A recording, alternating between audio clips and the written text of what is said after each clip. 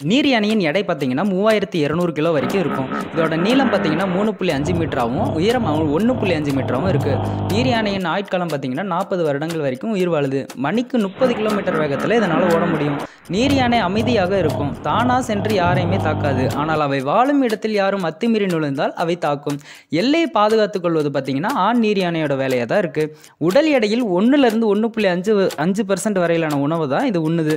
பூமியில் மூன்றாவது பெரிய பாலூட்டி என்னென்னா நீர் யானை தான். யானை வெள்ளை காண்டாமிருகத்தை தொடர்ந்து இது மூணாவது பெரிய பாலூட்டி இனமாக இருக்குது முணுமுணுப்பு சத்தம் மற்றும் குரட்டை சத்தம் மூலமாக ஒன்றோடொன்று தொடர்பு கொள்ளுது.